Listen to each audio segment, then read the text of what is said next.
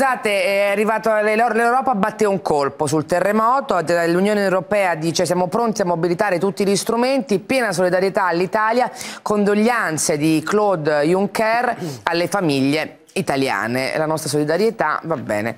Ehm... Se anziché la solidarietà ci dessero qualche soldo in più, secondo me sarebbe meglio. Ecco. Eh no, io quello penso, quando parla di ecco. strumenti, qua faccio polemica, speriamo ecco, si riferisse a qualche soldo. Qua, ecco, ecco, noi diamo 10 il nostro è un paese che dà 10, 20 miliardi all'anno all'Europa, ne piglia 12. Allora, Juncker, la solidarietà, grazie, va benissimo. Però Punto per il capo, terremoto di Amatrice, no, non c'è, non c'è lo svincolo sul patto soldi. di stabilità, no? Ecco, ci dia soldi, ci dia, anzi, non, non ci dia, ridia i nostri soldi, perché quelli sono soldi soprattutto dei cittadini italiani che in questo momento servono.